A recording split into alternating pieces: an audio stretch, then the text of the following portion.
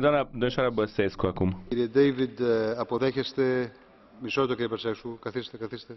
Dar domnul David, Την ερώτηση. Do you accept, will you... o întrebare pentru domnul David, dacă, vede, dacă sunteți de acord, domnul David. Okay, Ms. Pesescu, you have the floor for 30 seconds. thought that it was for catch the eye. I'm sorry, Mr. President, okay?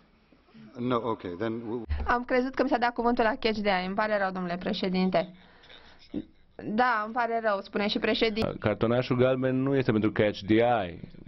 Cartonașul, galben, uh, cartonașul albastru este pentru cine dorește să pună o întrebare uh, vorbitorului anterior.